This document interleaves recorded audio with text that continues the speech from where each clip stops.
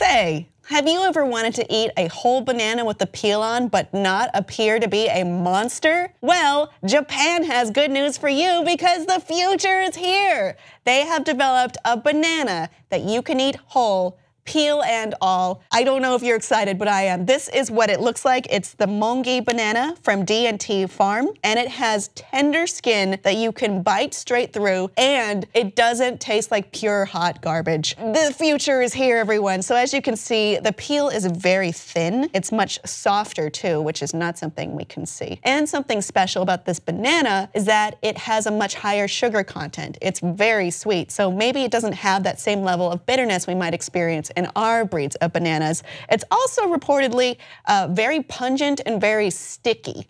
So there you go. Get used to that.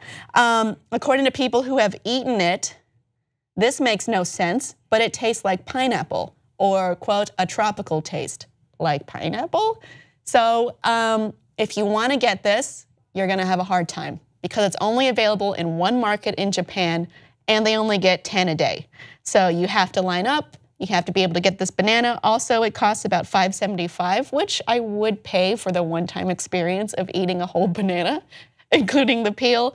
Um, according to the makers at D&T Farm, the peel has a bonus of added magnesium and vitamin B6, everyone. So it is completely worth it to you. The way they do this is that they freeze the trees uh, to negative 76 degrees Fahrenheit, and then they thaw them out and then they plant them. And reportedly, this releases some kind of, according to them, it quote, awakens an ancient survival mechanism banana trees use to make it through the ice age. And after the freezing, the thawing, and the growing, apparently the fruit is produced at a very rapid growth.